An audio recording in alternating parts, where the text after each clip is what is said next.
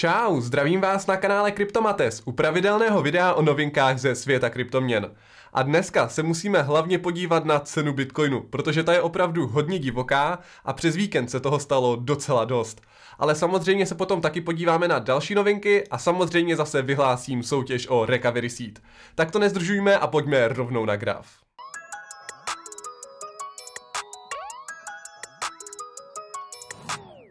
Graf vypadá opravdu jako horská dráha, tak ho pojďme v rychlosti zanalizovat a zjistit, co se teda vlastně stalo. Sranda je, že já jsem točil poslední video v pátek a schválně jsem teď ještě kontroloval cenu, kterou jsem tam tehdy měl a bylo to 55,5 tisíce dolarů. A teďka jsme na více jak 56 tisících, zhruba těch 56 tisíc dolarů, takže se vlastně, co se týče ceny, skoro nic nezměnilo, naopak jsme ještě o trošku výš a stejně ten sentiment je úplně opačný, ve stylu padáme, bortí se to, co se jako zase teďka děje, Bitcoin se sype dolů. Takže pojďme se podívat na to, co se přes víkend vlastně stalo. Nejdřív jsme tady měli tuhle tu zelenou svíčku, docela vysokou, která šla z 57 tisíc dolarů až na skoro 60 tisíc dolarů. To bylo super, během 4 hodin jsme najednou přes víkend byli skoro na 60 tisících dolarech, překonali jsme těch 58 tisíc dolarů, co bylo to minulé all time high, paráda. Pak jsme pokračovali ještě dál, došli jsme až na skoro 62 tisíc dolarů, což je teda teďka nové all time high, podle toho, která bude za nějaký 61,5, 61 800 dolarů, všechno super. Ale už v té chvíli to bylo docela divné, protože jsme se tady jako tak plácali kolem těch 60 tisíc dolarů a vlastně těch 60 tisíc dolarů bylo jakože nic. Nebylo to, že bychom byli buď pod 60 a ťukali na těch 60 ze spod, nebo nad 60 a uťukávali těch 60 ze zhora. My jsme byli tak jako 60,5, 59,5, 60 300, 59 400 a takhle jsme šli jako pořád nahoru dolů a vlastně to bylo jako kdyby tam ta hranice nějaká ta psychologická, ta desetitisícovka, jako kdyby tam vůbec nebyla, nic se nedělo. No a potom jsme teda spadli dolů dneska ráno a nejdřív jsme spadli na nějakých těch 58 tisíc, zase zpátky 57, 58, no a pak jsme se vysypali ještě níž a vlastně to úplné low lokální je nějakých 54,5 tisíce dolarů. Takže kdybychom to zase změřili od toho all time high teďka na to lokální dno, tak to je nějakých 11, skoro 12% korekce což už je určitě dost. Ale pojďme se teďka podívat na to, proč vlastně tato korekce vznikla, co se stalo. Já jsem totiž v pátek říkal, že si myslím, že to vypadá ten graf opravdu hezky, že si jdeme pro to nové all-time high pro těch 60 tisíc, což se teda mimochodem stalo,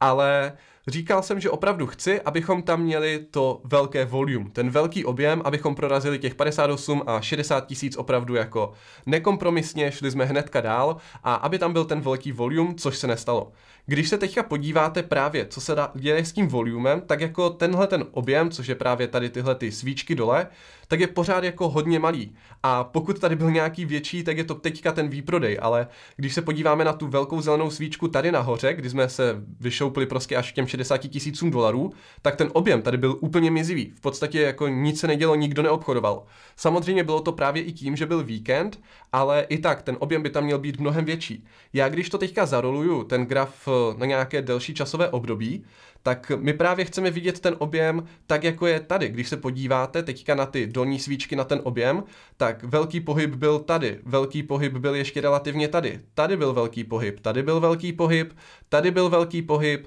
to byla myslím Tesla a pak tady byl ta korekce, velký pohyb, ale tady tady není nic, tady ten pohyb je až tady dole, takový pigi pohyb, nic se jako neděje. Takže to jako není vůbec dobré, to my nechceme. My chceme, aby ty pohyby byly opravdu takhle vysoké, aby ten objem u těch pohybů byl takhle velký, aby se zobchodovalo opravdu hodně bitcoinů a to se neděje. To znamená, ta cena se vyhnala nahoru bez nějakého velkého obchodování a tím pádem pak bylo i relativně snadné ji sešoupnout dolů. Přes ten víkend za tolik lidí neobchodovalo, potom se přišlo v pondělí na trh, zjistila se, že cena bitcoinu je vysoko a nedalo moc práce na to, aby se ta cena dostala zase dolů. To byl teda za mě jeden důvod, že ty objemy toho zobchodovaného bitcoinu byly opravdu nízké, v podstatě se nic moc nedělo a to se mi opravdu nelíbilo. Druhá věc, co se mi nelíbila, tak bylo právě to, že jsme se plácali mezi, nebo na těch 60 tisících, tak jako nahoru dolů, nahoru dolů a Vypadalo to, že je to úplně jedno, že je to 60 tisíc, bylo to, jak kdyby to bylo 57 500, nebyla to žádná rezistence, žádná důležitá hranice. To je další věc, co se mi nelíbila a za chvilku ukážu ještě další dvě věci, co s tím teda mohly teoreticky souviset. Teď se ještě můžeme podívat na to, co se může dít dále. Já tady mám tady tuhle tu stoupající trendovku, po které jsme se hezky šplhali, už jsem ji tam ukazoval i minule, že prostě jsme se vždycky hezky odrazili a šli jsme dál. Teďka to vypadá, že jsme ji teda prolomili dolů, uvidíme, ale tím, že už tady vlastně začíná třetí čtyřhodinová svíčka, tak si myslím, že je fakt proražená dolů. Takže když byste se chtěli jako zachránit, tak ji ještě můžete nakreslit trošku jinak a můžete vzít i ty úplně dolní knoty do toho a v tu chvíli vidíte, že jsme se přesně zatím odrazili, takže by nás tato trendovka teoreticky mohla držet. Ale to je zase prostě, nakreslil jsem si to takhle jenom proto, aby mi to vyšlo. Předtím jsem ji měl nakreslenou tak, že už jsme ji prorazili. Takže zase prostě za mě technická analýza, záleží na tom, co chcete v tom grafu vidět, to si tam můžete nakreslit. Co se mi teda teďka ještě zdá v tom grafu, že by mohlo být, tak mi přijde, že opravdu tady teďka máme nějaký box, ve kterém bychom se mohli zhruba držet a že ten by nás mohl jako relativně snad aspoň na chvíli zachránit. A ten boxík je zhruba tady tato úroveň, ve které jsme se docela dost obchodovali. Vidíte, že to je zhruba nějakých 55, 56 tisíc až 58 tisíc dolarů a vidíte, že tady to je přesně ta úroveň, kde jsme se obchodovali Tady to minulé all time high a potom tady toho bylo taky relativně dost, dost dlouho jsme se tady obchodovali a vlastně odráželi jsme se tady v této úrovni a teď jsme se tady tak jako relativně hezky zachytili. Takže to by nás mohlo podržet, to si myslím, že taky může být docela hezká úroveň. No a když ne, tak si dokážu představit, že se vysypeme na 52 až 50 tisíc dolarů a taková ultimátní záchrana potom by mohla být těch 48 tisíc dolarů. Na druhou stranu nemyslím si, že je to jako úplně pravděpodobné, myslím si, že dost možná už tady máme opravdu to dno, ale těžko říct, to prostě nejde nikdy s jistotou říct a uvidíme. Spíš mi přijde, že zase lidé, co říkali o víkendu, tyjo, proč já jsem to nekoupil na 56, 57 tisících, teďka už to stojí 61 tisíc, kež by to tak spadlo, já bych to dokoupil ve slevě, tak když to teďka spadlo, tak si myslím, že zase přesně tady tito lidé říkají, ježiši, Bitcoin padá, tak to, to určitě spadne ještě víc, anebo to už je konec, do toho radši investovat nebudu, to jako teďka, teďka určitě nakupovat nebudu, to se bojím, to vypadá nezdravě. Takže klasika, prostě takové ty slabé ruce, to si myslím, že je normální, ale vy tady můžete relativně nakoupit jako ve slevě 10%, na druhou stranu pořád jsme fakt na ceně, na které jsme byli teďka v pátek před třemi dny, takže nic hrozného se za mě neděje, akorát jsme tam vyrazili moc rychle na těch 60 tisíc a hlavně bez objemu. Teďka teda ale ještě dva další důvody, proč ta korekce mohla takto přijít, nebo respektive proč ta korekce teda vlastně přišla. Jeden z těch důvodů tak může být zase uh, informace ohledně Indie a toho, že Indie možná zabanuje Bitcoin nebo obecně obchodování takových těch soukromých kryptoměn, co nejsou státní, nejsou vytvořené státem. A tady je teda teďka rozhovor s ministrní financí z Indie, která říkala, že chcou nechat otevřené možnosti právě co se týče experimentování s Bitcoinem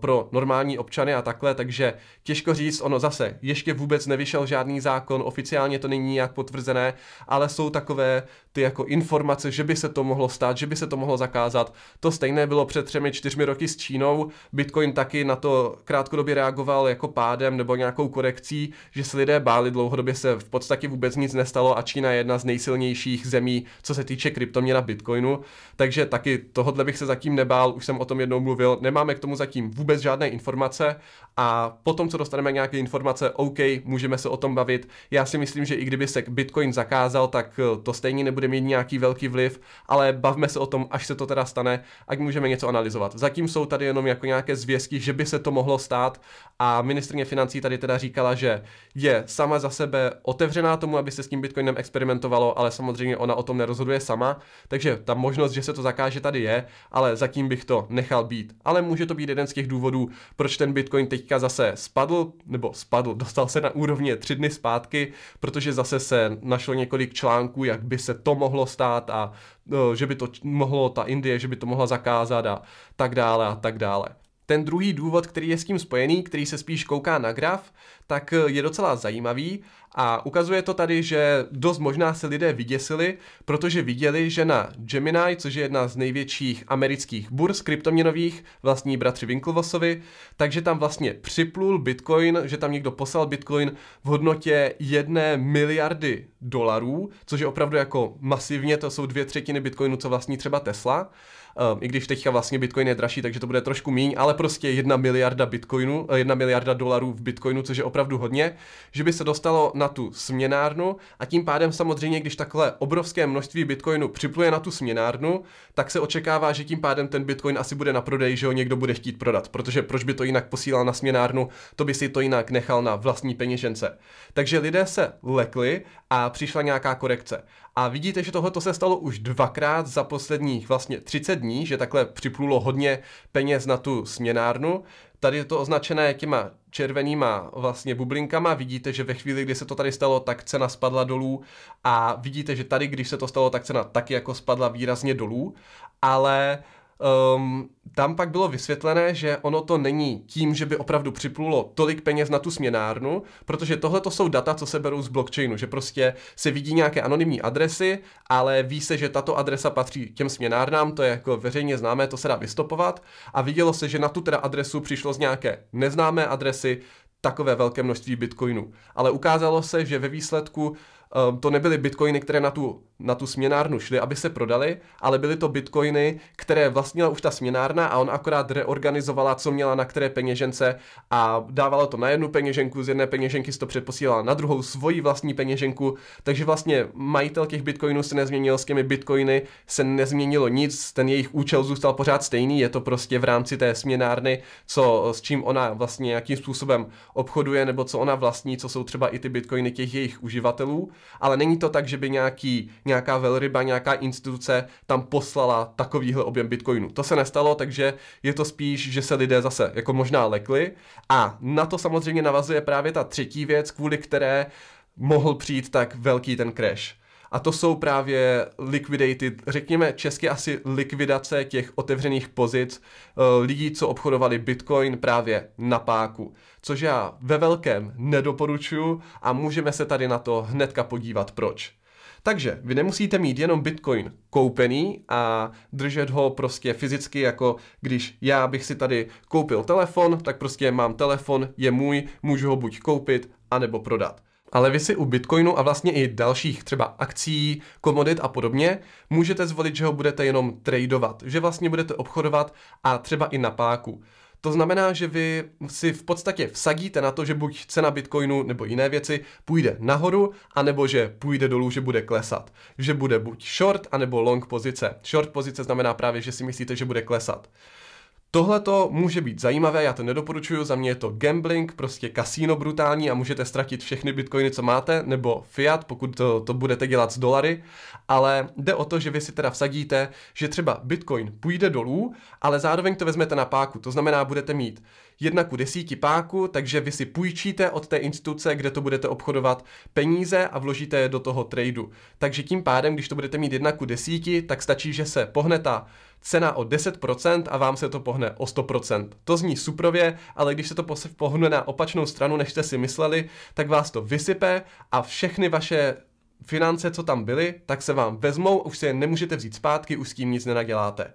No a vidíte, že ve chvíli, kdy se ta cena dostala k těm 60 tisícům dolarů, jak jsme to o víkendu překonali, tak právě se vylilo 100 milionů dolarů právě lidí, co si mysleli, že cena nepůjde nahoru a vysypalo je to a cena šla nahoru. A potom to vypadalo jako super, jsme nad 60 tisíci, pokračujeme dál, máme teda za sebou tu korekci z těch 58 a jedeme na 70 tisíc. A plno lidí si teda vsadilo v podstatě, že jo, jedeme dál, myslím si, že Bitcoin půjde nahoru. No a přišla ta korekce, ať už z jakéhokoliv důvodu, Indie, nebo to Gemini, že tam přišlo hodně těch Bitcoinů, anebo prostě jenom, že začalo pondělí normálně pracovní týden a přišli nějací hráči na burzu, co tam nebyli o víkendu a začali třeba prodávat, to je úplně jedno. A v tu chvíli teda začala padat ta cena Bitcoinu a všichni ti, co si vsadili na to, že Bitcoin půjde nahoru, tak eh, když tam měli, řekněme, jakoby velkou tu páku, tak o ty svoje bitcoiny, co do toho vsadili, přišli a ve chvíli, kdy se to právě dostalo na tu úroveň té likvidace jejich,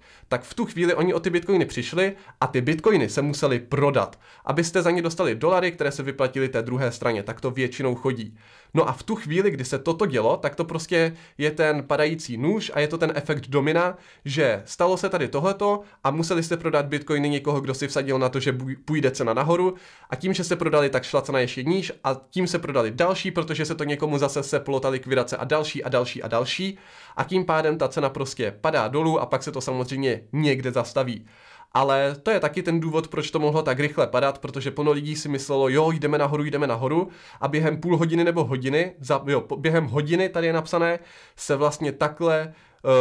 udělala likvidace v hodnotě 1,12 miliard dolarů. 1,12 miliard dolarů většinou v bitcoinu lidí, co si mysleli, že půjde bitcoin nahoru, tak se jim vzalo a dost velká část toho se právě prodala a tím pádem ta cena padala prostě ještě víc. Takže to je takový relativně začarovaný kruh a proto já říkám, neobchodujte jako na páku, hlavně když tomu nerozumíte, rozhodně Bitcoin neobchodujte, kupte si ho klasicky tak, jak když si kupujete fyzickou věc a když si koupíte telefon, potom je váš, máte ho na ideálně vlastní peněžence a když spadne cena, tak se nic nestane. Pořád ho vlastníte, akorát má dolarově nižší cenu. Ale to prostě neznamená, že o něho přijdete, na rozdíl tady od tohoto spekulování a nakupování na páku nebo prodávání na páku, kdy o to můžete jednoduše přijít, aniž byste sami chtěli. Ono vám to potom automaticky ten Bitcoin prodá. To jsou teda takové základní informace k té ceně, k tomu, co se teda stalo proč jsme se dostali na 60 tisíc, proč teďka jsme najednou zpátky na 56 tisících a co by se mohlo stát dál.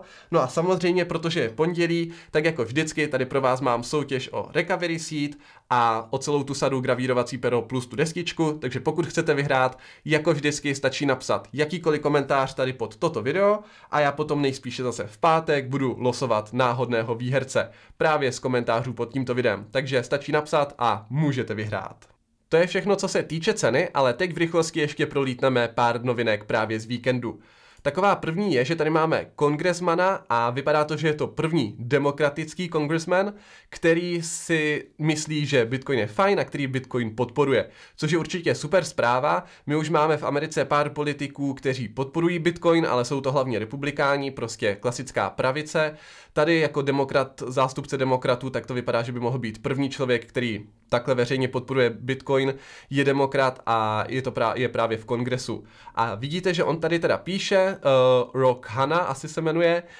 um, tak píše, že Bitcoin spotřebovává elektrickou energii stejně jako auta, zlato nebo obecně finanční systém. A že cené věci prostě spotřebovávají energii a že to těžení toho Bitcoinu musí být zelenější, s čímž já prostě souhlasím, a že Bitcoin Lightning Network vlastně potom sníží um, tu energetickou náročnost toho Bitcoinu, což uh, jako, no, to si úplně nemyslím, ale OK.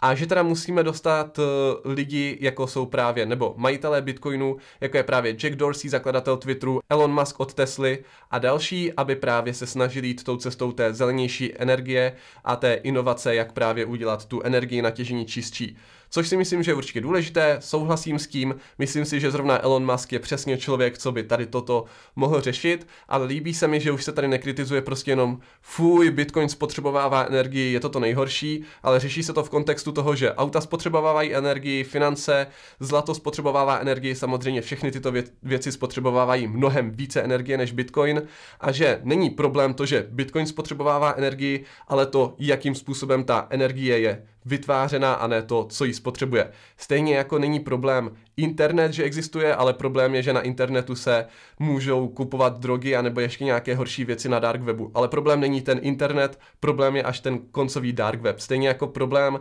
Bitcoinu není ta spotřeba energie, ale je to to, co tu energii vyrábí. Takže tohle je určitě fajn. A ještě k tomu tady tenhle ten týpek, tak byl vlastně eh, za Obamy pracoval na ministerstvu obchodu, takže je to trošku výraznější osobnost a myslím si, že je fajn mít v americké vrcholné politice právě takovéto lidi v úvozovkách na naší straně, který, kteří Bitcoin podporují a nebo ho prostě neříkají, jak je to to nejhorší a jak jsou to plastová C, jako někteří tady v Česku. Potom tady je hodně zajímavá zpráva z Koreje a to je, že právě korejská kryptoměnová směnárna překonala, co se týče objemu obchodů, klasický místní akciový trh, klasickou akciovou burzu což je prostě jako šílené a Korejci jsou obecně trošku větší hazardéři než třeba my tady v Evropě, takže jim asi nevadí větší risk právě co se týče kryptoměn, ale je to, je to jako mazec, že prostě v Koreji se na jedné jejich korejské burze obchodovalo za více peněz, eh, za větší objem v jeden den, než na té jejich místní o, celostátní vlastně té jejich stock exchange, té burze na cené papíry. Samozřejmě není to Amerika, největší burza je právě v Americe, ale i tak jako je to dost zajímavá zpráva a Korea nebo respektive ti jednotliví investoři, ti retailoví investoři, jako jsem já a vy, ti jednotlivci, tak se podle mě tam koukají na ty kryptoměny jako opravdu normální investiční aktivum na skoro podobné úrovni jako akcie, do kterého se dá normálně investovat a mají k tomu podle mě docela pozitivní náhled. Ale to je jenom taková zajímavost. Teďka poslední novinka, která mě jako opravdu rozesmála a na kterou si vezmu růžové brýle, ne, že by to byla nějaká obrovská predikce ceny, ale spíš jako fakt na pobavení, protože zase Elon Musk vymyslel něco šíleného. Takže Elon Musk, nebo respektive Tesla, dala zase nějaké dokumenty SEC, což je americká komise pro cené papíry a oni musí poskytovat dokumenty jako obchodovatelná společnost normálně na burze o tom, co dělají, jak se jim vede a podobně. A je to něco, jako kdybyste poskytovali dokumenty, řekněme, finančním úřadu nebo ČNB nebo třeba ministerstvu financí,